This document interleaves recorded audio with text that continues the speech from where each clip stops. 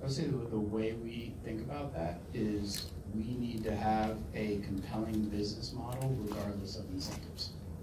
So, you know, that's what we've worked really, really hard on refining, packaging, making repeatable, um, and understanding our, our market and understanding our audience and their, you know, the value they're looking for and their incentives. Uh, to be able to structure a model that ensures ROI for them regardless of what happens with a 30C tax credit. So typically the way we're, at this stage, the way we're able to present our product and our concepts to, um, you know, to a lot of our partners is, hey, full freight, full cost of product, full tax, hopefully you can get some kind of tax exemption, um, we can still make a really compelling argument, and that's how we've actually sold every deal. But then we'll start to run down the capital stack and say, you know what? But you're also in uh, a low moderate income area, so there's potential that you can get a 30C tax credit reduction.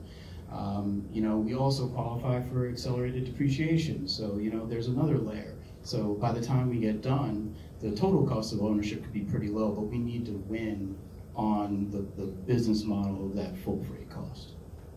Um, and so our thinking there is regardless of administration, we will be successful.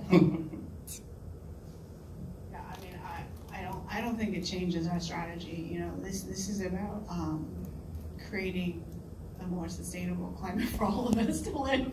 So, yes, it will be harder if a certain somebody wins versus another somebody.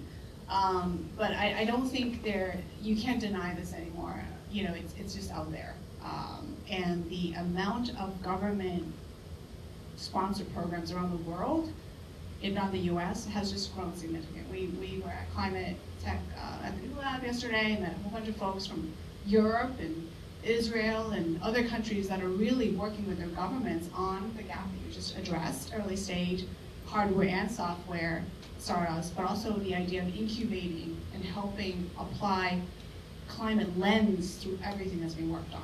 So everything from fintechs to financial services and marketplaces for options, but also like marketplaces for services and selling carbons, um, to packaged devices to track data. So I, I don't really think it changes anything for us. Um, I, I can add a little bit more. Um, so for my case, I think uh, the incentives government policy is kind of so unpredictable. So we're talking global market, we study US market, EU market, Chinese market. We figure out we can't count on government policy, we can't predict those changes. So my little experience will be like, we try to explore different use scenario applications. One of the use cases, we talked to a government agency about air uh, quality uh, in California. They said, using your technology, you save the battery pack you can help facilitate the transition to the EV space or the, um, the electrification of either commercial cars or passenger cars. That will help us to uh, move this forward we can explore some kind of funding opportunities.